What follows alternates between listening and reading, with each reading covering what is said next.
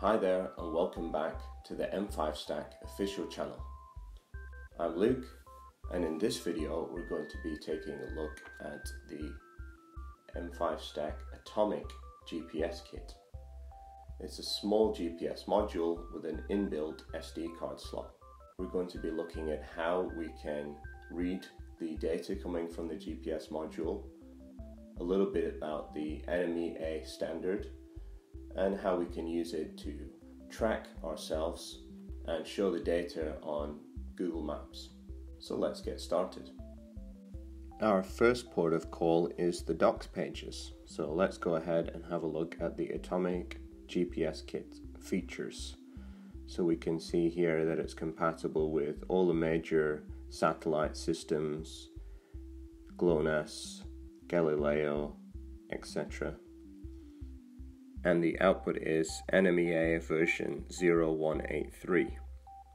And the chip being used in this module is the M8030KT, which is a u-blox chip actually. So later on we'll have a look at checking this out in u-blox's U-Center application.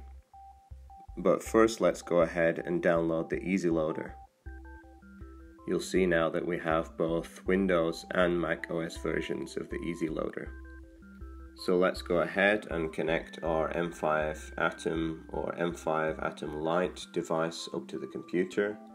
Make sure to select the correct baud rate and then hit burn. And in just a moment we'll have a successfully flashed device. You can find the Arduino sketch for the program we just flashed with the EasyLoader down below. What this program does is to send the data from the GPS to the serial monitor and also log it in a text file on the SD card if you've inserted one. And it even sends the serial data over Bluetooth. So let's first open our serial terminal and check what's going on. Once we select the correct COM and baud rate, we can start to see the latitude and longitude values, although they're kind of skewed across the screen. And you'll see that both latitude and longitude are just at zero now. We need to make sure that the little red light on the module is flashing in sync with the blue light. This means that it's got a fix on the satellite. Then we'll start to get some proper longitude and latitude values. This serial output is a little bit difficult for me to read or copy and paste from. So now we must have generated a reasonable amount of data. I'm going to go ahead and remove the SD and check what data we have on there. So here in the SD card we can see this GPS data.txt file. And if we go ahead and open that up, we can see the values latitude, longitude, and UTC time. You'll see here all the zero values at the start before the module got a fix on a satellite. Here we start to see the real values. Now as a test I'm going to copy and paste these values into Google Maps and see if the location was accurate or not. And this has placed me in the sea just off the coast of Shizuoka, Japan. I'm not in Japan right now, although I would like to be. So what went wrong here? We'll see in a moment that the NMEA sentences give a lot more detail and this Arduino sketch chopped out a lot of that. And what was missing was that I'm actually in the southern hemisphere. So therefore I need to add a minus in front of my latitude coordinate. And that's more like it. I am in fact in sunny Adelaide, South Australia.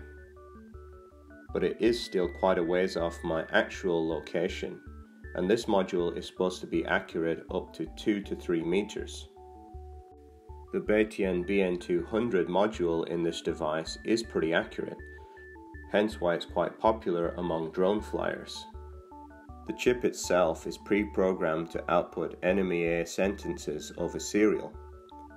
Let's have a look at this data in a different way using the u-blox U-Center application. So we'll go ahead to the u-blox website and download that. I wasn't able to get any output or fix on the location while it was plugged into the Atom device, so I disconnected it and connected it up to a M5 stack USB to TTL serial converter. Now you can see that once I've chosen the correct serial port, I get an instant fix in the software and I can see a lot of data now.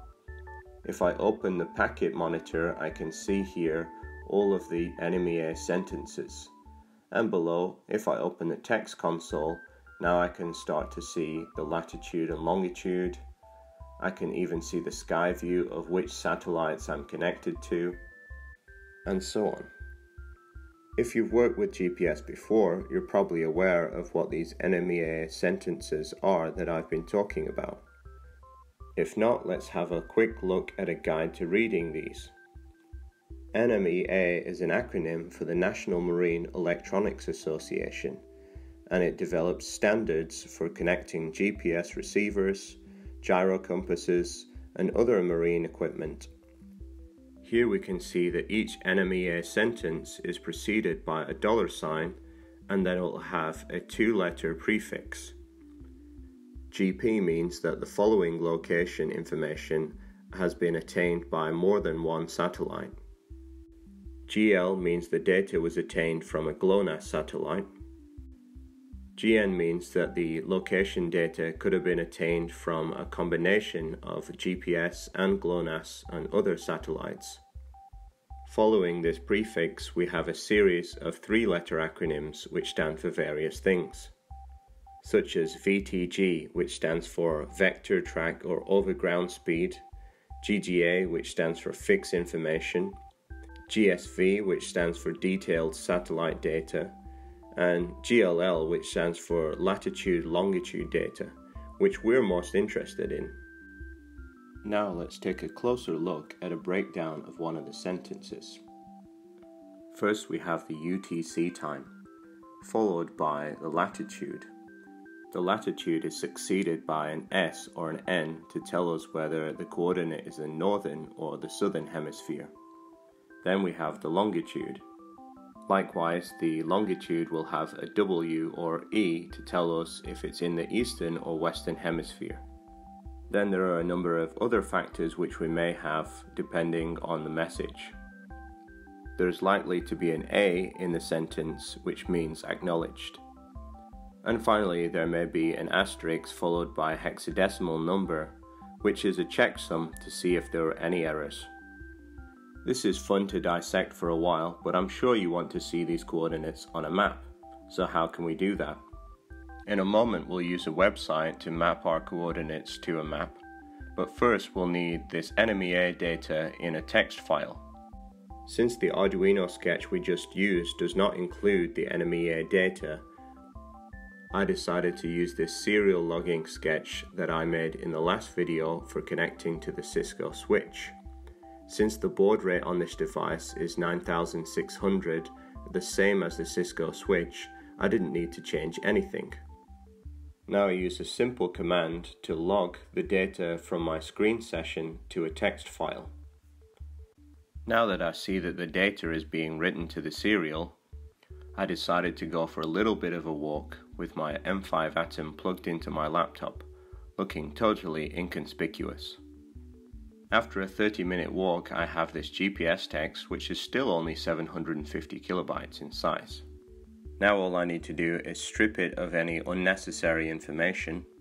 Then I'll go to gpsvisualizer.com. We can see here the data formats supported by the website, which includes u-blox data and also NMEA 0183. So we'll go ahead and upload that text file and then choose from the drop down list Google Maps. And in just a moment, I can see this line showing where I've been on my walk.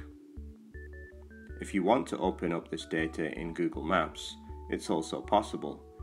Choose the Google Earth option below Make a Map, then re upload your text file, and then click the button that says Create KML file. Now, once we've downloaded this KML or KMZ file, we can go into Google Maps, then go to Your Places. Now we are able to create a map and it allows us to import that file that we just exported from the other website.